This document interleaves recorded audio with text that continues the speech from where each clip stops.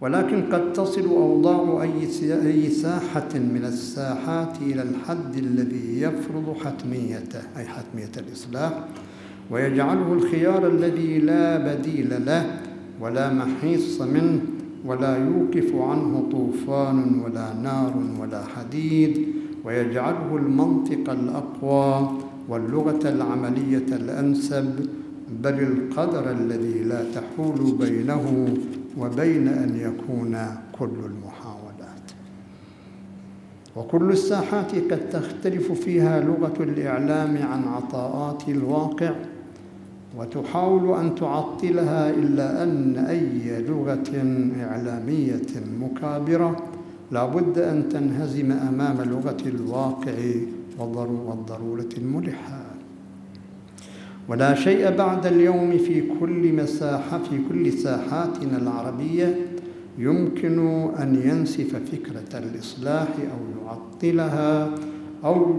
أو يقاومها طويلا بعد أن أصبحت القضية في لغة الواقع ضرورية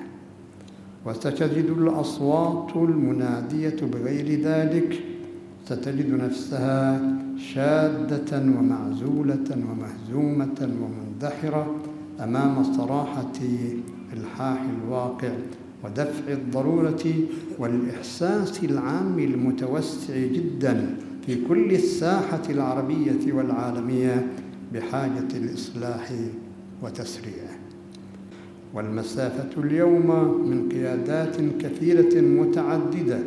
تنتشر في الساحة العربية والإسلامية وتحمل شعار الإسلام والانتصار إليه وعودته لقيادة الأمة وبين الإسلام مسافة شاسعة فهما ورؤية وفقها واستيعابا وهدفا وتوجها وتقديرا للإنسان وانفتاحا وعدلا وإحسانا وتسامحا ونأيا عن الضيق والعصبية الجاهلية من قومية وجغرافية وغيرهما وتعاليا خلقيا ورفعة وتساميا. قيادات تخطئ فهم الإسلام وتقيم من عصبيتها ودمويتها وعدوانيتها وإساءتها لعدل الإسلام وانفتاحه ورحمته وإحسانه نماذج عملية وشواهد زور على الأرض تسلبه قوته